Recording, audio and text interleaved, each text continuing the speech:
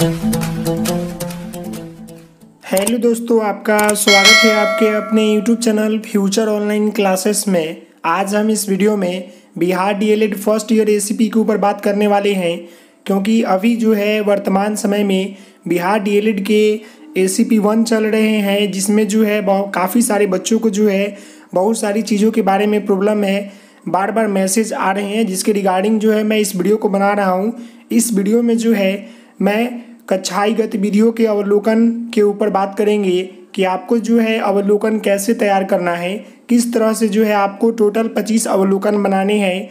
तो मैं आपको बता दूँ कि बहुत सारे बच्चों का कमेंट आ रहा था कि मुझे फॉर्मेट नहीं दिया गया है कॉलेज की तरफ़ से मैं कैसे अवलोकन लिखूं।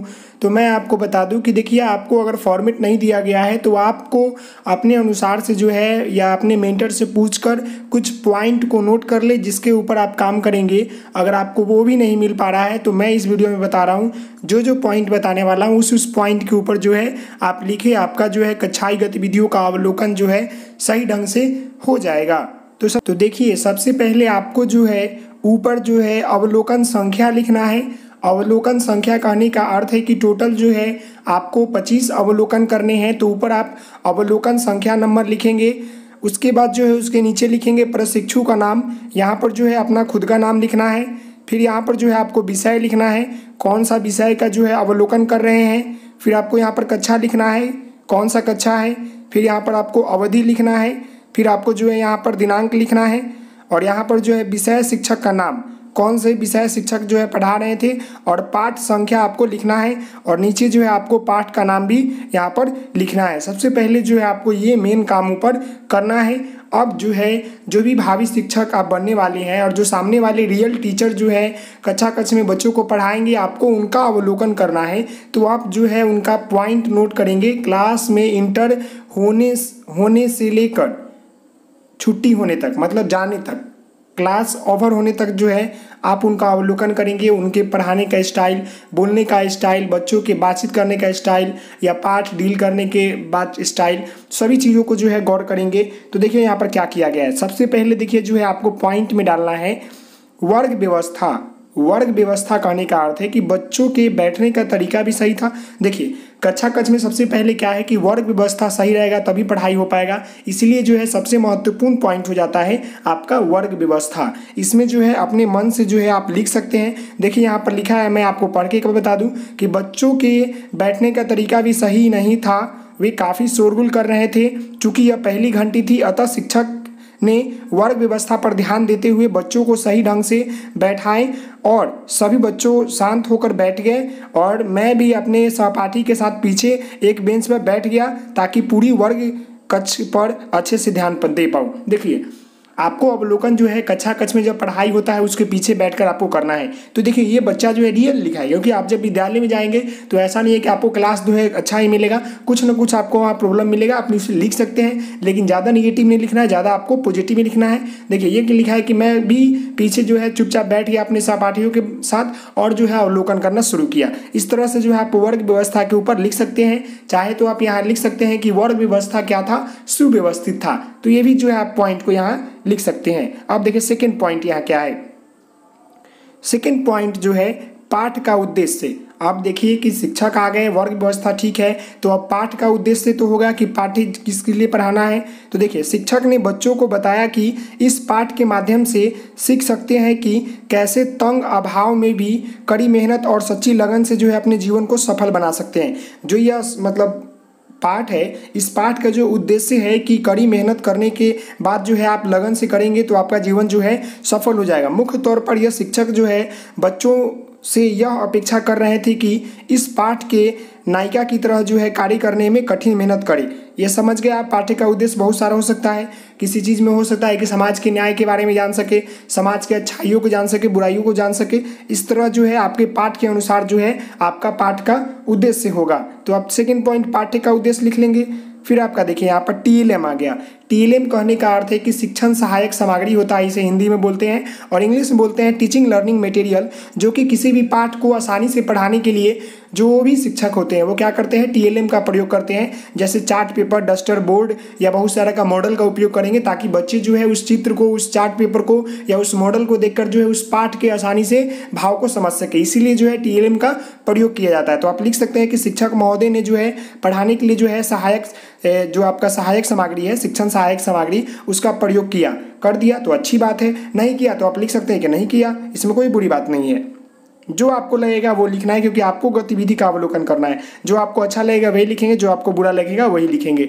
पढ़ाने की विधि लिखेंगे, ये भी सही है। मान लीजिए एक अच्छा कक्ष में कोई शिक्षक पढ़ा रहा है तो किस विधि से पढ़ा रहा है? अगर अगर कहानी है या कविता है तो नाटक हो, role play, role play method हो, या संवाद विधि हो, व्याख्या विधि हो तो देखिए यहाँ पर लेक्चर मेथड है। विज्ञान विधि के द्वारा जो है यहाँ पर बताया जा रहा है। फिर देखिए यहाँ पर एक्टिविटी का प्रयोग किया गया कि नहीं किया गया? देखिए, इस पाठ को पढ़ाने के दौरान एक्टिविटी का प्रयोग किया गया कि नहीं किया गया, ये भी आप लिख सकते हैं। जैसे यहाँ देखिए क्या लिखा हुआ है बच्चों ने कि पाठ को पढ़ाने के दौरान कठिन शब्दों का प्रयोग दैनिक जीवन से घटित में बातों से करके समझा रहे थे।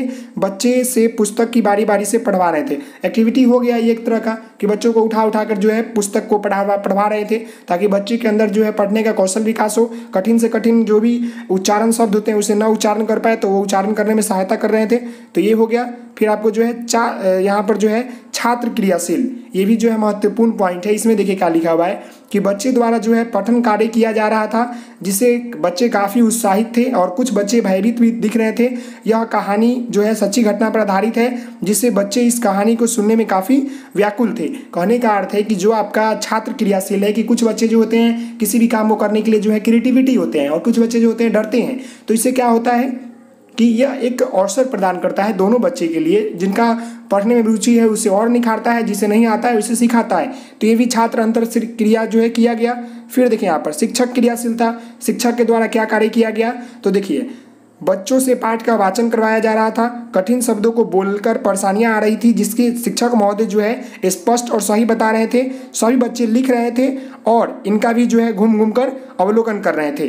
कहने का अर्थ है कि शिक्षक के जो क्रिया था कि सभी बच्चों से पुस्तक पढ़ाई, जो भी कठिन वहाँ शब्द आ रहे थे, उसे जो है, वो बोलकर, लिखकर जो है, बच्चों को बता रहे थे। तो ये शिक्षक क्रियाशीलता हो गया या किसी प्रकार की प्रश्न भी थे, उसका भी उत्तर दे रहे थे। ये सब बातें जो है, आप लिख सकते हैं। फिर अब आ जाता है मूल्यांकन। अब शिक्षक जो है पाठ को पढ़वा दिया, ये करवा दिया तो अब जो है मूल्यांकन हुआ कि नहीं हुआ?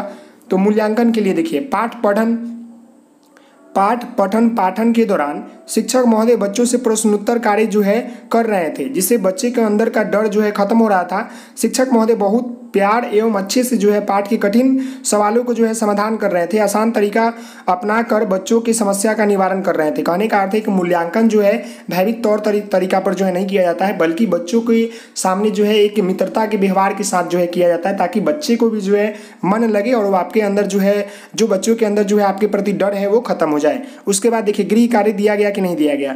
बच्चों को जो है लिखवाए गए कठिन शब्दवाली को याद करने तथा पाठ के पढ़कर आने के लिए कहा गया। यह गृह कार्य हो चुका फिर उद्देश्य की प्राप्ति हुई कि नहीं हुई? शिक्षक जो है इस पाठ को पढ़ाने से पहले जो उद्देश्य की प्राप्ति करवाना चाहते थे बच्चों को, क्या उसका प्राप्ति हुआ कि नहीं हुआ, इसमें जान लें। शिक्षक ने अपनी तरफ़ से जो है पूरी मेहनत की, जिसके कारण जो है बच्चे में काफ़ी जो है अलग सा माहौल बन गया।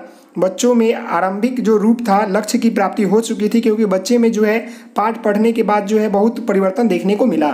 मतलब शिक्षक जो चाहते थे इस पाठ के माध्यम से बच्चों में जो उद्देश्य चाहते थे, वो उद्देश्य की जो है प्राप्ति हो चुकी थी। कहीं कहीं जो है आपको उद्देश्य की प्राप्ति नहीं भी होगा। ये नहीं कि सब में आपको उद्देश्य की प्राप्ति हो ही जाएगा। तो इस बात पर भी जो है आपको गौर करना है। यहाँ देखिए, उपचारात्मक शिक्षण का अवलोकन और यहाँ लास्ट में। कहने का अर्थ है कि आमतौर पर जो है बच्चों को अंग्रेज़ी पढ़ने में जो है मन नहीं लगता है। वे इस एक कठिन विषय के रूप में देखते हैं। बच्चे अंग्रेज़ी के शब्दों पर ध्यान न देकर केवल कहानी पर ध्यान दे रहे थे। शिक्षक को यह पता था कि इसलिए वे अंग्रेज़ी के शब्दों को सरल अर्थों में जो है प्रयोग कर रहे थे ताकि बच्चे के जो है समझ सके और कोई तकलीफ़ ना हो। इसलिए हम कह सकते हैं कि वर्ग कक्ष में जो है शिक्षक उपचारात्मक शिक्षण पर भी जो है ध्यान दे रहे थे। तो ये हो गया। इस तरह से जो है आप लिख सकते हैं। यह आपका जो है पॉइंट है। और इस तरह से आप मौखिक अवलोकन भी कर सकते हैं और जो आपका फॉर्मेट अवलोकन है, वो भी कर सकते हैं। साथ ही साथ मैं अभी जो है आपको और दिखाने वाला हूँ अवलोकन। आप ध्यानपूर्वक देखेंगे, देखिए, अवलोकन संख्या वन डेकोरेट किया हुआ है, विद्यालय का नाम, शिक्षिका का नाम, वर्ग, चक चक्र मतलब यहाँ पर हुआ आ गया दिनांक और विषय। ये हो चुका है। अब देखिए, वही पॉइंट मैं आप पढ़ूँगा नहीं, आप देख लेंगे, आप आप पॉज करके वीडियो को देख लेंगे। यहाँ देखिए, प्रारंभिक शिक्षण व्यवस्था। प्रारंभिक कक्षा व्यवस्था ठीक था, परंतु मतलब शुरू से पढ़ाने से पहले व्यवस्था कैसी थी? ये आप समझ गए? वही पॉइंट है, उसी तरह लिखा गया है। सेम टू सेम कुछ पॉइंट चेंज होंगे। पाठ का उद्देश्य क्या था? ये आप समझ गए? ऊपर मैंने अभी आपको बताया। प्रश्न और टिप्पणी। देखिए, यहाँ पर एक नया मिल गया कि शिक्षक ने जो है पाठ में संबंधित प्रश्न किए, कुछ छात्रों ने उत्तर दिए, उत्सुकता दिखाई दे रहे थे। प्रश्न और टिप्पणी हो गया, गृह कार्य, फिर मूल्यांकन किया गया कि नहीं किया, ऊपर मैंने भी आपको बताया सारी चीज़ों के बारे में। फिर देखिए, व्यक्तित्व निरीक्षण। व्यक्तित्व निरीक्षण जो है कि यहाँ नया पॉइंट आपको मिला कि पाठ्य वस्तु का जो है चयन व्यवसाय के अनुरूप किया गया। शिक्षक का जो है स्वर भी उचित है। ये समझ गए आप? फिर देखिए अवलोकन टू। अवलोकन टू में देखिए आपको क्या किया गया ठीक उसी प्रकार दिनांक विषय चक्र कक्षा प्र, प्रकरण और अवधि। ये हो गया नाम यहाँ छोड़ दिया है कुछ बच्चों ने थोड़ा गलत किया है लेकिन फिर भी ठीक है ये। इस तरह से देखिए ये सिर्फ़ पॉइंट वाइज लिख दिया। शिक्षक ने कक्षा में ठीक समय पर प्रवेश किया सर्वप्रथम श्याम पट पर सूचना अंक किया छात्रों का पूर्व ज्ञान का अवलोकन किया। शिक्षक की भाषा शुद्ध व स्पष्ट थी एक एक पॉइंट में जो है किया गया है लेकिन आपको ऐसा नहीं करना है आपको मेंटर से पूछ लेना है। सरल उदाहरण देकर जो है छात्रों को समझाया गया। बच्चों से प्रकरण संबंधित प्रश्न पूछे गए। बच्चों को सकारात्मक पुनर्बलन पर जो है बल दिया गया। शिक्षिका ने बच्चों को गृह कार्य दिया। कक्षा में जाने से पहले श्यामपट को साफ़ किया गया। ये क्या हो गया? देखिए, आपका अवलोकन है। ये भी जो है मौखिक अवलोकन है। यहाँ देखिए, तीसरा अवलोकन। ठीक उसी प्रकार है। ये थोड़ा अलग है। देख लिया आप। वर्ग व्यवस्था, देखिए, तीन अवलोकन तीन तरह का आपको दिखाई दिया मैंने आपको जो फ़र्स्ट बताया, उसी पर आप काम करेंगे। वर्ग व्यवस्था ठीक है? टीएलएम का प्रयोग किया गया, पढ़ाने का विधि एक्टिविटी का प्रयोग, देखिए, वही सब पॉइंट आपको मिलेंगे। कुछ अलग नहीं होता है, सब पॉइंट वही आपस में आपको टकराते हुए मिलेंगे। तो आप ज़्यादा इधर उधर की बातें नहीं सोचेंगे, बस आप अपने काम करेंगे और वहीं पर ध्यान देंगे। छात्र क्रियाशील शिक्षक क्रियाशील। देख लिए? आगे ऊपर वाला ही पॉइंट गृह कार्य और मूल्यांकन। लगता है कि यही जो है सेम सेम पॉइंट सभी लोग लिखे हैं, गृह कार्य और मूल्यांकन। इस तरह से जो है आप मौखिक अवलोकन और जो आपका फॉर्मेट अवलोकन है, ये कर सकते हैं। अगर आपको कॉलेज में फॉर्मेट नहीं दिया गया है, आप किसी प्रकार की टेंशन नहीं लेंगे। आसान से जो है, भाषा में आप लिखेंगे। तो आशा करता हूँ कि आपका यह जो डाउट था क्लियर हो गया होगा। तो आप इस वीडियो को लाइक करेंगे शेयर करेंगे सब्सक्राइब करेंगे। थैंक यू सो मच जय हिंद, जय भारत। तो मिलते हैं नेक्स्ट वीडियो में। तब तक के लिए धन्यवाद। थैंक यू सो मच जय हिंद, जय भारत।